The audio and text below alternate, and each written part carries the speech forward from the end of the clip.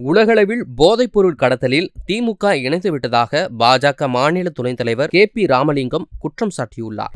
திமுக அரசாங்கத்தில் இருக்கிறவர்கள் அரசாங்கத்தை நடத்துகிறவர்கள் குறிப்பாக விளையாட்டுத்துறை அமைச்சராக இருக்கக்கூடிய உதயநிதியினுடைய நண்பர்கள் அதுவும் திமுகவுடைய அயலக பிரிவினுடைய மாநில செயலாளர் மாநில தலைவர் உள்ளிட்டவர்கள் போதை மருந்து விற்பதில் ஒரு டன் ரெண்டு டன் அல்ல ரெண்டாயிரம் டன் முன்னா மூவாயிரம் டன் உலகம் முழுவதும் போதை மருந்தை விநியோகிக்கக்கூடிய ஒரு சூழ்நிலையிலே அவர்கள் இன்றைக்கு போதை மருந்து விற்கிறார்கள்.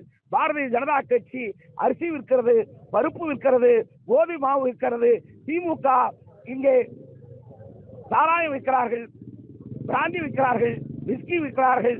அதை போலவே இன்றைக்கு போதை மருந்து மருந்தையும் உலகம் முழுவதும் விற்கிறார்கள். அதுதான் திமுக இதுதான் பாரதிய ஜனதா கட்சி. நன்றி வணக்கம்.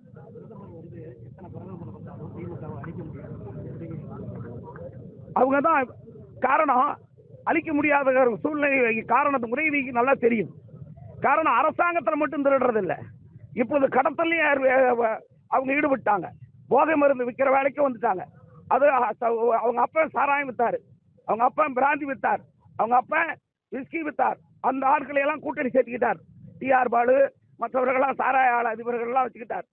இவர் மகன் அடுத்தது இப்போ வந்து போதை மருந்து விற்கிறார். அடுத்து இவர் மகன் வந்து எதை வைப்பாருன்னு தெரியாது. ஆக அவங்களுக்கு இது தெரியுது. எதுல பணம் பண்ணணும்னு தெரியுது. பணத்தை வச்சு கட்சி நடத்தலாம்னு தெரியுது.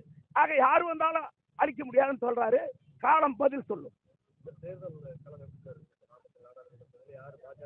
நாடாளுமன்ற தேர்தலில் பாரதிய ஜனதா கட்சி மிக பெரும்பான்மையான வெற்றியை பெறும்.